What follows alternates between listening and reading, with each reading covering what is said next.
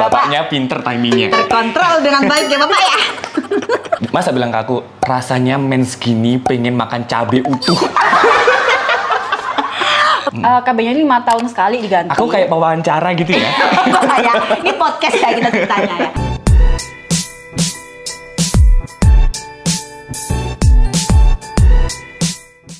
Hai, Hai, dapat kita kita always here. Ketemu lagi sama kita berdua di sini. Yeay. Gimana kabar kalian? Semoga baik-baik saja. Jadi video kali ini kita bakal membahas tentang after pemasangan KB itu kayak gimana sih? Yang rasanya kayak malam pertama. Eh, udah Eh. dikip dulu Bapak. Oh iya, sebelum cerita nih, kebetulan panas banget di sini. banget. Terus kita biar ceritanya tuh leluasa dan juga santai minum dulu Oh ya, iya, Mam. saya minum dulu ya guys.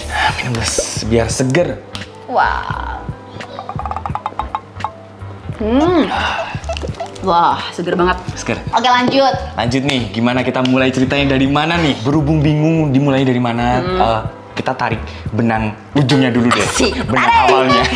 Jadi awal mula kenapa eh, kita berdua memutuskan untuk melakukan program KB Iya, gitu. keluarga berencana ya. Ya, yang pertama. Yang pertama adalah karena kita masih mau menunda kehamilan. Betul, karena Karena kan kita harus fokus menata segalanya. Iya benar. Terus juga asal masih kecil juga kalau Iya. misalnya takutnya nanti hamil kedua lagi itu kita tuh mikirnya itu kasih sayangnya tuh bakal kebagi gitu. Iya, itu prinsip keluarga kita Iya, ya. itu prinsip keluarga kita. Jadi Mm. kayak kita puas-puasin dulu Mm. lah ngasih kasih sayang sepenuhnya ke Asta. Betul. gitu. Terus yang kedua apa tuh? Terus yang kedua tentunya juga masalah psikis kita berdua ya Mm-mm. kan. Terutama kita, kita jujur banget masih trauma kayak masalah sesar kemarin, masalah hamil, apalagi masalah Asi. body shaming, asin kita masih trauma banget Iya. gitu. Jadi semuanya harus siap mental buat Iya, memiliki momongan baru lagi. Makanya kita memutuskan untuk melakukan keluarga berencana. Iya benar. Terus yang ketiga, nih, Tiga apa tuh, Mam? itu masalah kesehatan. Tentunya Kesehatan. KB ini bukan cuma buat masalah apa sih psikis, tapi Mm-mm. masalah kesehatan juga. Masalah kesehatannya kita tentunya juga menghindari adanya kanker serviks Mm-mm. kayak gitu. Terus juga menghindari adanya hipertensi. Jadi Ah. menurut penelitian nih guys, kalau misalnya kita tuh hamil jaraknya terlalu dekat itu bakal menimbulkan hipertensi lebih besar gitu. Yang Betul. nantinya bakal eklamsia kalau hamil gitu. Nah, ternyata alasannya juga Benar. ada buat kesehatan juga ya, Mam medis ya. itu juga ada. Oke, jadi nggak semena-mena kayak nggak mau punya momongan dulu gitu. Ya benar, tapi emang ada alasan-alasan yang lain. Betul. Nah, selanjutnya nih istri yang bertanya kepada suami. Waduh, ini bakal seluruh Indonesia tahu nih. Gimana sih Pak rasanya setelah istri itu KB gitu? jadi kayaknya eh, para paksu paksu di luar sana itu pasti merasakan yang sama gitu ya. Eh, ini di garis bawahin kita KB-nya kemarin tuh Ayudi ya? Iya Gitu. betul. Eh, karena sebelumnya itu kita tidak melakukan KB, Iya, alat kontrasepsi. Benar, selama bertahun-tahun kita menikah. Iya, tapi untungnya aman gitu ya. Ya, aman, Bapak. Bapaknya pinter timingnya. Terkontrol dengan baik ya Bapak ya? Udah nih cerita nih. Gimana, gimana? Jadi rasanya itu kayak ada sesuatu yang baru gitu. Oke, Something new gitu Iya, ya? something new ada di ruangan yang memang sebelumnya tidak ada gitu. Oh, berarti ada ada saya Pak, ada saya Pak gitu ya? Permisi minggir ke, ke kanan dulu, ke kiri dulu gitu. Jadinya harus eh, penyesuaian dulu tapi semakin ke sini ke sini itu udah terbiasa gitu, udah kenal sama ruangannya itu Oh ah, iya, siapa udah aja kenal gitu. gitu ya Pak ya. Terus after taste-nya itu After taste-nya ini yang pertama itu waduh ngerasain kayak baru nikah pertama Wah, gitu. malam pertama lagi guys. Aduh. Berasa di mana waktu dulu bujang ke nikah Oh, gitu ya, Pak. Waduh, rasanya bener-bener buh gitu. Terus eh, ngerasa kayak di mana emang kebukti kalau misalkan dalam keluarga itu eh, salah satu faktor keharmonisan rumah tangga itu ya hal kayak gitu gitu Oke, loh. meskipun tuh hal-hal kecil tapi itu Mm-mm. mempengaruhi keharmonisan Ya, juga. selama kita eh, tiap harinya menjalankan aktivitas bareng gitu Iya. kan. Jadi sama-sama saling seneng gitu lah. Tentunya sampo makin habis ya Pak ya di kamar mandi. Oh iya guys, ada sedikit cerita kemarin Apa? tuh lupa banget mau cerita kalian. Jadi pas Ah. waktu perjalanan kemarin pasang KB itu, Ah. kan kebetulan emang cuacanya itu panas banget terik gitu. Jadi kita pastinya butuh minum kan. Mm. Terus akhirnya kita kepepet banget karena haus biar seger iya. kita mampir warung yang Benar, itu loh. benar, benar. Dan aku tanya sama ibunya Oh. eh, cari aqua. Terus yang diambilin tuh malah merek lain. Iya ya terus terus terus. Kadang orang salah kaprah ya, misalkan pesennya Aqua tapi yang dia beliin merek lain karena Iya, A- bener. Aqua tuh udah top of mind uh, banget Top of mind gitu. banget kalau Aqua itu semua air kemasan botol itu semuanya Namanya Aqua gitu. Jadi dia diambilin merek lain Oh, gitu. gitu. Karena emang butuhnya Aqua, aku bilang ke ibunya, "Bu, yang Aqua." Akhirnya diambil Ah, Aqua kan. ah, Terus iya. karena Aqua itu menurut aku lebih ini loh, Mam, ngerasa di tenggorokan tuh langsung kayak seles gitu loh. gitu. Jadinya emang nyaman uh, minum Aqua Iya, gitu. juga, Dan gak uh, semua air mineral tuh Aqua gitu. Benar. Karena ya emang mungkin itu udah karena Aqua itu udah top of mind banget gitu ya. Jadinya semua air mineral itu Aqua gitu. Kadang ibu-ibu gitu, ini Aquanya. Padahal merek lain. Iya benar. Aduh dari tadi ngomong mulu ya guys, bentar bentar kita aqua dulu deh. Dulu. Serak banget. hmm. Hmm. Wah, satu lagi ya yang kita suka dari aqua itu aqua tuh rasanya murni. Mm-mm.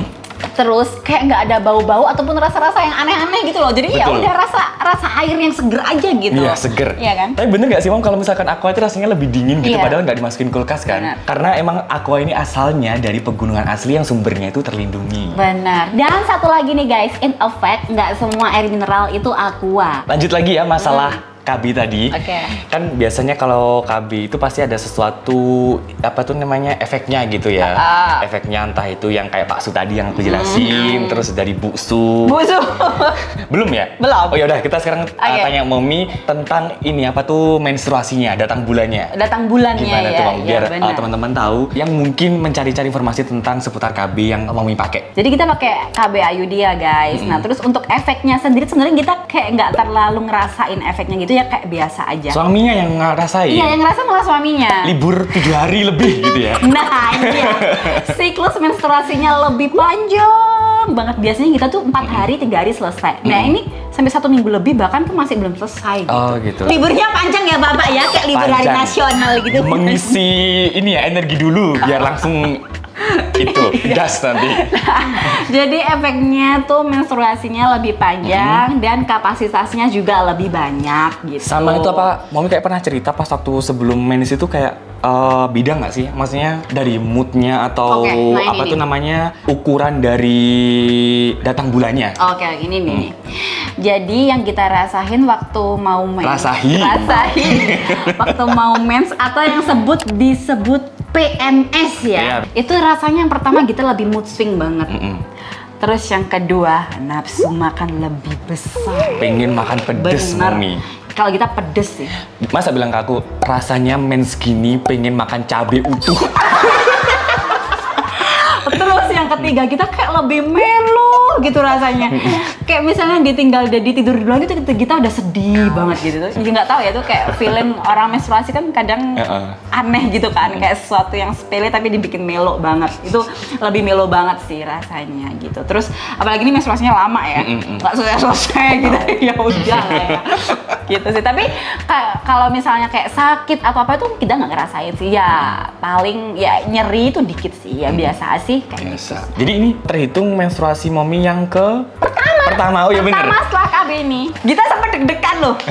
Aduh, kok nggak menstruasi nih ya gitu.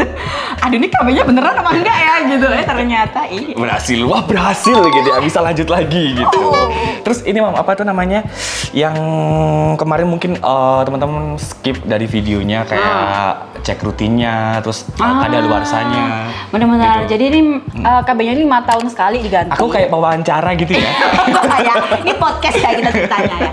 Terus yang kedua untuk maintenance-nya tuh enam bulan sekali kita harus Hmm. kayak ke dokter kandungan gitu harus nge-maintain. Ini mencelek dah kok mencelek sih apa sih? Miring. Miring nggak atau apa kayak gitu.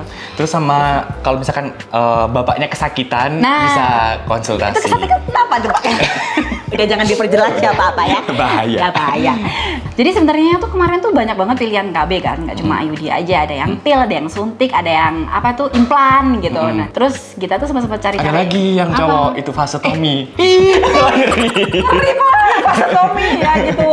Nah, jadi kita udah kayak eh, apa namanya browsing ya? Apa Hmm. sih kayak apa tuh namanya apa sih namanya? research Research gitu ya, research gitu. Terus kebetulan eh, salah satu teman kita itu juga pernah ada yang KB pil. Hmm.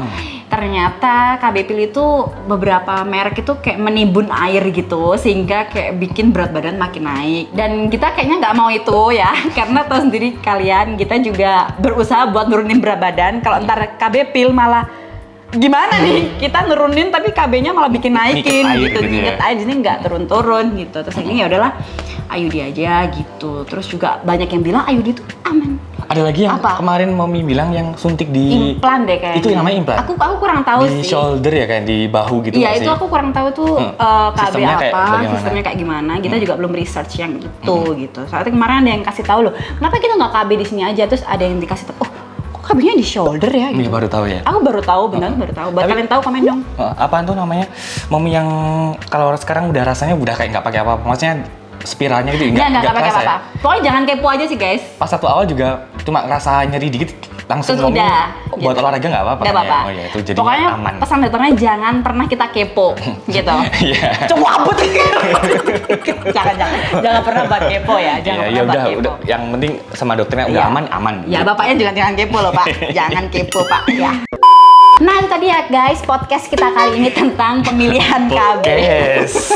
Semoga bisa memberikan informasi buat teman-teman di sana yang uh, mungkin lagi bingung pakai alat kontrasepsi, bagaimana Iya, KB, bagaimana iya, gitu. benar. Karena KB kan fungsinya nggak cuma buat kesehatan Mm-mm. mental, tapi juga demi kesehatan badan.